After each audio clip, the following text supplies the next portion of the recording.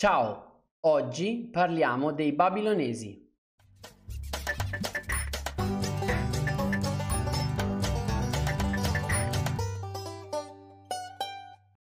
Dopo aver parlato dei Sumeri, entriamo nella civiltà babilonese. Molte cose le ritroverai, per esempio la struttura della società, la scrittura cuneiforme, eh, la religione politeista, perché i babilonesi possiamo dire che in un certo senso sono figli dei Sumeri, perché la cultura eh, da cui derivano è la stessa.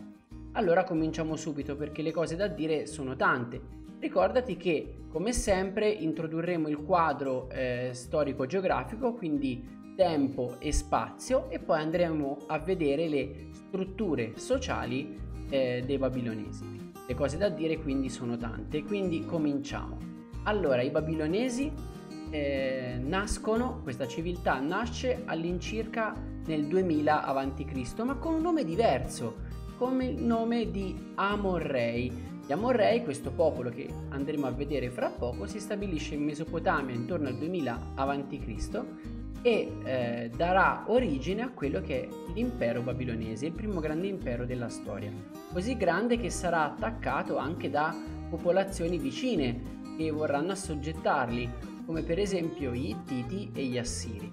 Eh, queste guerre però non distruggono la civiltà che riesce a tenere e rifonda il grande impero babilonese eh, però con l'invasione dei persiani all'incirca nel 500 a.C.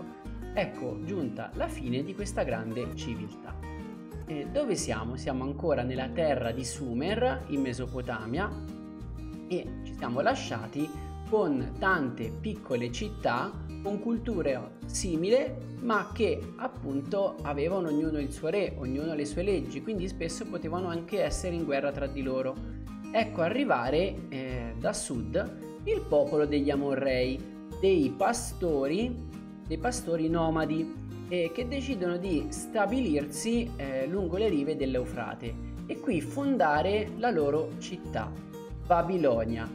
Hai capito? Da qui verrà il nome di babilonesi, proprio perché trovando tante città eh, non unite tra di loro, eh, i, gli abitanti di Babilonia, i babilonesi, riescono a dominare piano piano tutte queste grandi città e a eh, unificarle in un unico impero, il primo grande impero della storia, l'impero dei babilonesi, l'impero di Babilonia.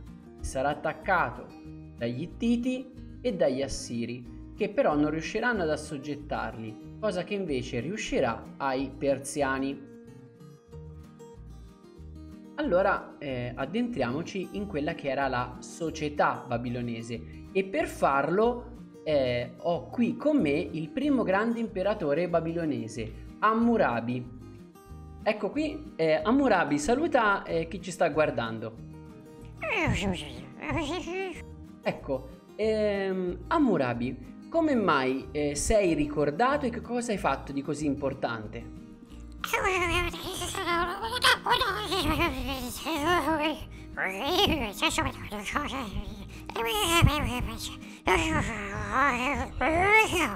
Ecco, eh, Hammurabi mi ha appena detto che eh, quando è diventato imperatore c'era un problema, cioè tutte le città avevano le loro leggi inoltre non erano scritte, ma se le tramandavano oralmente, a voce, ed era un problema per un impero molto vasto. E quindi fu lui a scrivere il codice di Hammurabi, cioè un codice che aveva tutte le leggi uguali per tutto l'impero. Queste leggi erano scritte nelle steli. Le steli erano delle, ehm, delle strutture in pietra scolpite eh, dove in alto, me l'ha detto lui, eh, c'era eh, in, in, immagine del, del dio Shamash, dio della giustizia e del sole, e del re Hammurabi e eh, vi erano elencate tutte le leggi. Giusto? Dico bene? E mi fa anche il segno che le leggi erano circa 300. E quindi leggi uguali per tutti.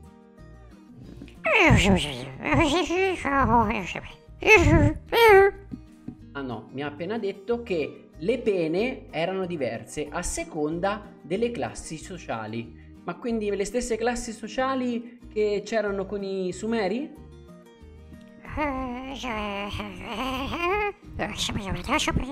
Ah no, eh, le classi sociali erano diverse, erano tre. Ovviamente in alto c'era l'imperatore, poi c'erano uomini liberi, che erano funzionari, sacerdoti, eh, nobili, poi c'erano gli uomini eh, semiliberi, che erano contadini, artigiani e soldati, che non potevano scegliersi il lavoro. Eh, il lavoro veniva scelto loro eh, o per via ereditaria, quindi lo stesso mestiere di famiglia, oppure dai funzionari se ne avevano bisogno. E eh, come ultima classe sociale c'erano gli schiavi, che erano quasi sempre prigionieri di guerra e che appartenevano ai nobili e facevano i lavori più duri. Quindi tre società. Bene, grazie, grazie mille Amurabi.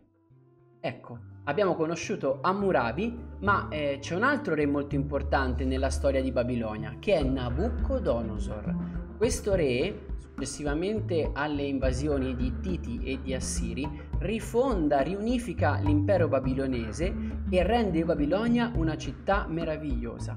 Pensa che questa città, che, aveva, eh, che era costruita sulle rive dell'Eufrate, aveva delle mura maestose e la porta di Ishtar, la dea dell'amore e della guerra, era totalmente eh, di un colore blu smaltato con immagini eh, in oro di animali che dovevano proteggere la città.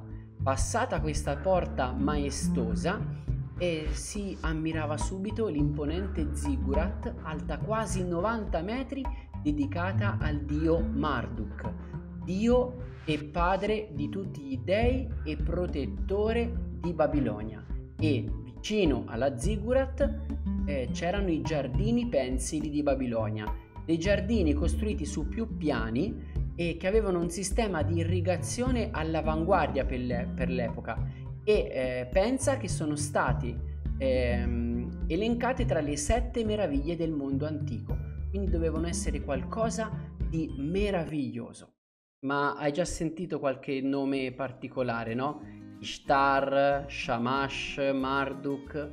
Esatto, anche i babilonesi erano politeisti e questo significa che c'erano più dei dedicati o a sentimenti o eh, a valori, abbiamo sentito amore, giustizia, ma anche a elementi, fuoco, aria e eh, i sacerdoti davano indicazioni eh, del volere degli dei, ma ce n'era uno che era il più importante di tutti, Marduk, padre di tutti gli dei. E i sacerdoti, come abbiamo appena detto, attraverso la lettura delle stelle, quindi dell'astrologia, cercavano di dare dei significati a quello che doveva essere il volere degli dei. Tommaso, Tommaso. Sì? Chi è? Sono Marduk, il più potente sì. dio di Babilonia. Cosa c'è? Ti ho lasciato un messaggio tra le stelle. Vado subito.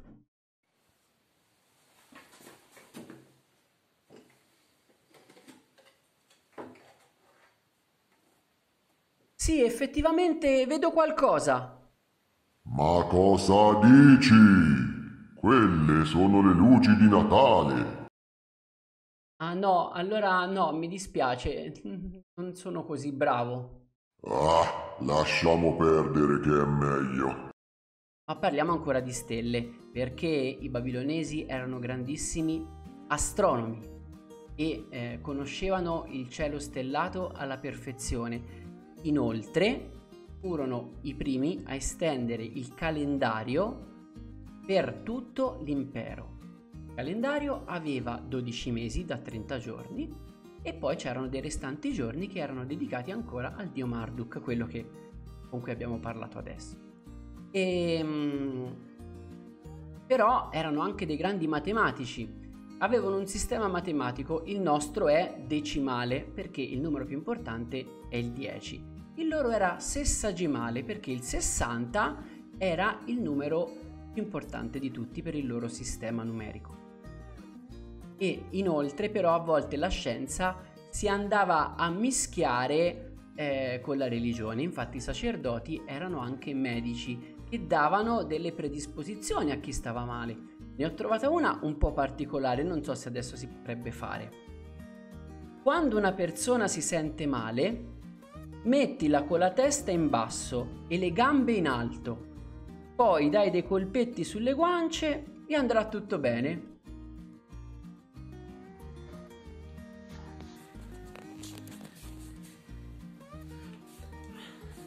Ok, ora datti dei colpetti sulla faccia. Sulla faccia? Sì, c'è Ma- scritto così. Ma sei sicura che funzioni? Certo, Io ci provo, eh. vai. Ecco, e adesso eh, l'unica cosa da- che rimane da approfondire è l'economia, Eh, perché anche i babilonesi avevano il baratto, ma insieme al baratto compaiono le prime monete e soprattutto l'utilizzo di minerali preziosi come l'oro e l'argento. Ecco, io ho finito, puoi utilizzare eh, questo video per studiare, per ripassare o integrarlo anche con altre nozioni, con altre fonti che ritieni utile. Noi ci vediamo al prossimo video. Ciao!